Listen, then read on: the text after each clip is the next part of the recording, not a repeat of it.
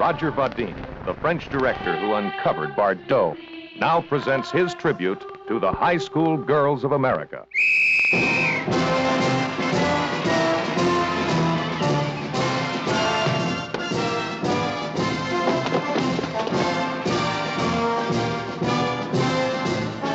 Oceanfront High is a model school with an enthusiastic faculty, a responsive student body, and real team spirit.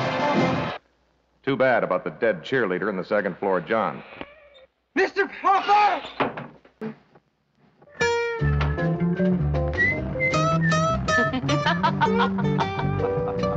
you caught me.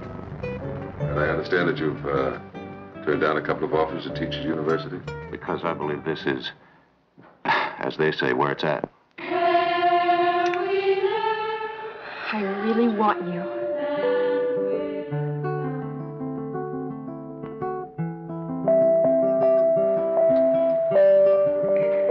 Well, now, if we started doing that with our students, who knows where it would lead? Well, we'd certainly get to know them better. But some teachers might do it for pleasure. Yes, I suppose there could be some, some whistling while we work. I'm Miss Smith, substitute teacher. Is there anything at all I can do for you?